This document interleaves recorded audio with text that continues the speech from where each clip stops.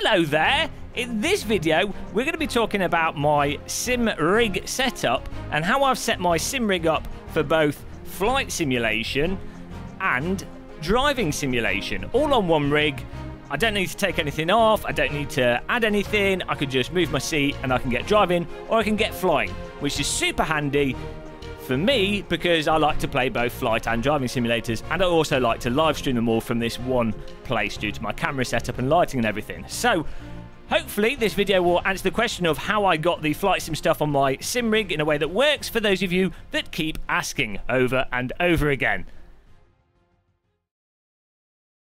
Welcome back to the Gamer Muscle YouTube channel. Click that like button and subscribe. Now, before I get talking, let's first of all do a really cinematic pan of the equipment, and uh, I'll leave the external view on so you can see how. Uh, how uh, what it takes to achieve pro steadicam. So here we go. We're going to pan across the rig here. Look at this. Look at this shot, guys.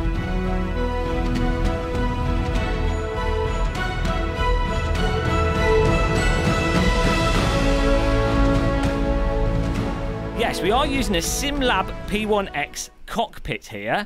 And for those of you that don't know, SimLabs make T-slot cockpits. Now, what is T-slot, some of you might ask?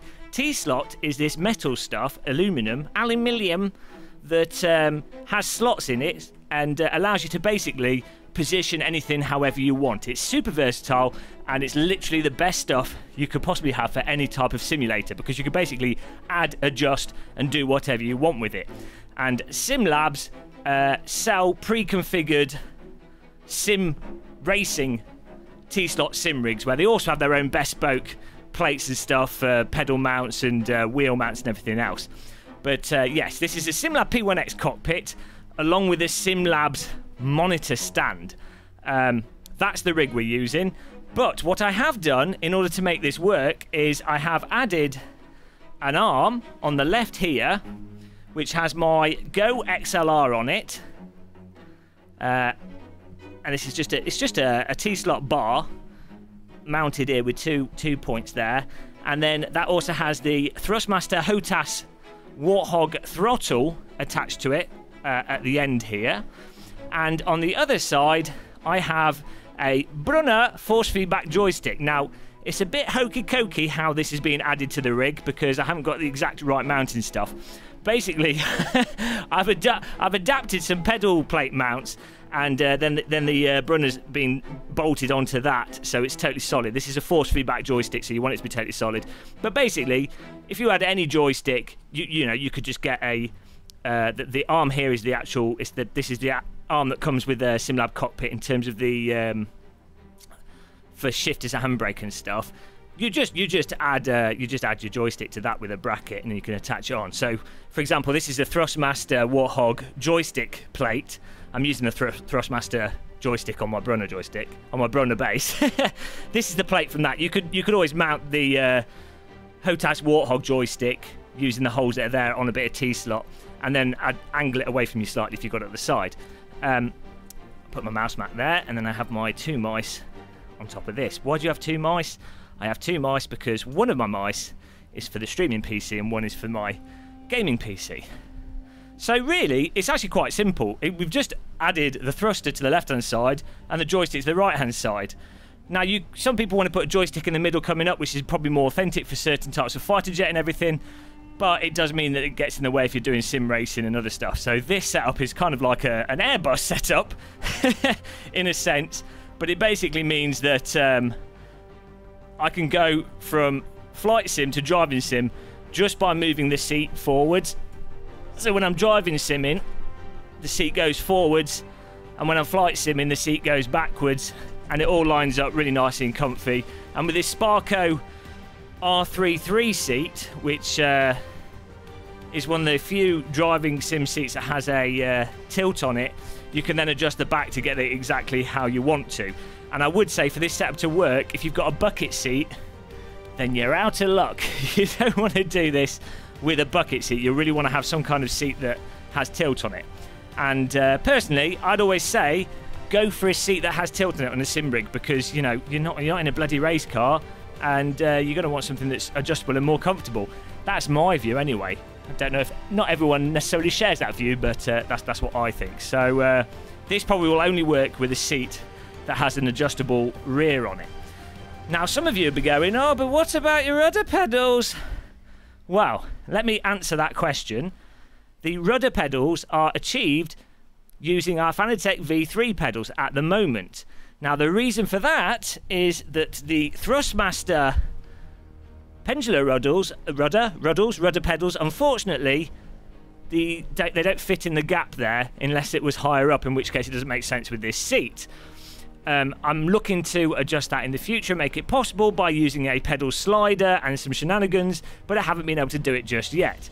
And also, for the pure convenience of literally just being able to get in and fly or drive and switch between the two, using your driving simulator pedals and using the tip that I said in the uh, video about three or so videos ago, I've got a, a guide on how to use your driving sim pedals as rudder pedals. Works with all simulators. Doing that works perfectly fine. It's fine. You could just do that, and you can use the brake pedal as a brake in your simulators. It's fine. Sure, if you're training to be a real pilot, maybe it's not fine, but uh, for most people, it's fine. So uh, yeah, that's the, the rudder pedals achieved with the Fanatec V3 pedals. Now, some of you might be curious for my rig in general, outside of how we've got it to work with flight sims uh, and driving sims.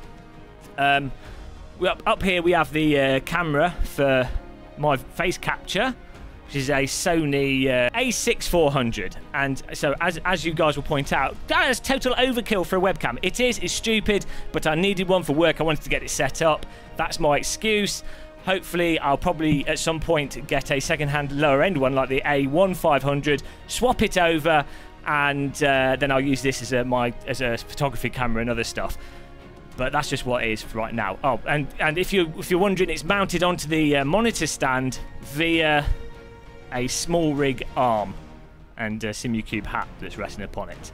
On the back of there, we've got two uh, 30 watt LED warm white light bulbs. And then the screen up here is obviously for my streaming PC. So uh, I can monitor what's going on through OBS, what's recording, what's happening. And then my chat is normally on the left hand side when I'm live streaming or any other information. Of course, we have the Fanatec podium direct drive wheel on the uh, plate there. And I just leave that there. I just take the wheel off it when I'm flight simming. Uh, and uh, that's that's a very nice piece of equipment that works fantastic for driving simulators. For those of you who don't know, you, have got interchangeable wheels. There's one over there, and uh, I've got one down here around the back.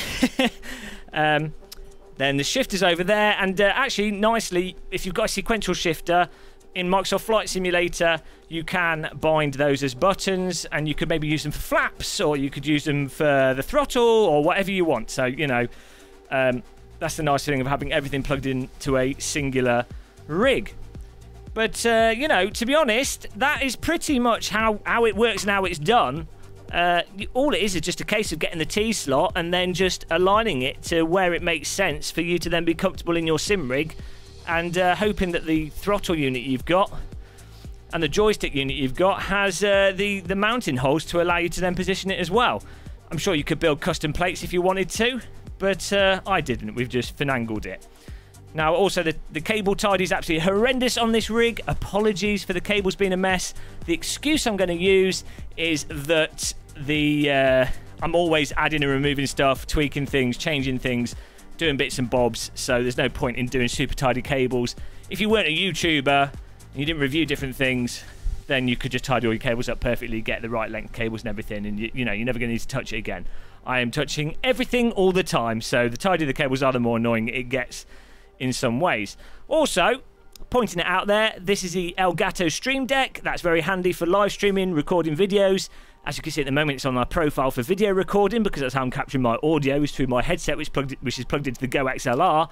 Um, so, uh, that's awesome. You can set that up with buttons for Microsoft Flight Simulator or your driving simulator if you weren't using it for live streaming. Even if you did use it for live streaming, you can set a profile so you can also use it for buttons for driving simulators, macros, and everything else. Fantastic bit of kit. They also do a small one which doesn't cost as much. And uh, also we have our we have our uh, our um, keyboards here. One for the actual gaming PC and one for the streaming PC. And this can rotate around, but the throttle quadrant uh, does block it eventually, but uh, it rotates enough that I can use it perfectly fine. So all was good and happy on the sim rig. Woo! so um, yes, I mean that is pretty much it really in terms of how we've achieved this multi-dexterous, super duper amazing sim rig. All in one place, race and fly, everything. All possible. All dreams are possible. Um, but that's about it, guys, for this video. You know, um, let me know what if there's anything I've missed, or if you want me to go into more detail with stuff. I wanted this to be as quick as possible, so I've, I've basically wrapped this, speed talked your way through it. Um, hopefully, it's helped you guys. Uh, click that like button, subscribe, and uh, until the next Gamer Muscle video, keep cool, happy tea drinking, goodbye.